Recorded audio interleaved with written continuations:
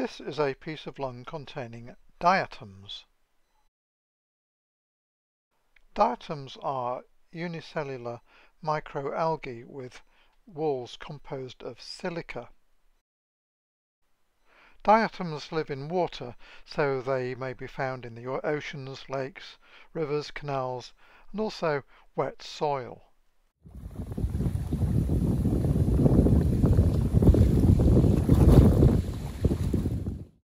The presence of diatoms can be particularly useful in forensic pathology.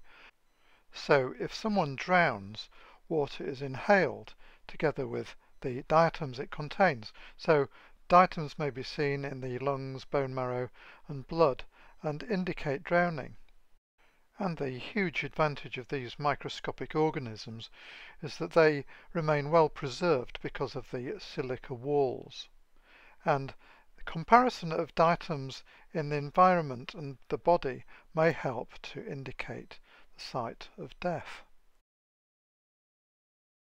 Diatoms vary in size from 20 to 200 microns across, so the smallest diatoms are about three times the diameter of a red blood cell, it is around 7 microns.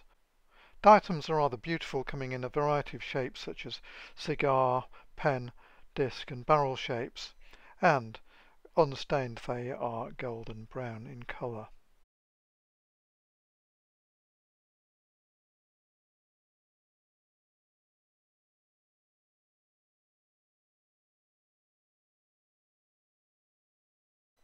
This is a lung sample from an individual who drowned and the lung contains number of diatoms and we are zooming into a particularly attractive diatom that is oval shaped in the center of the picture.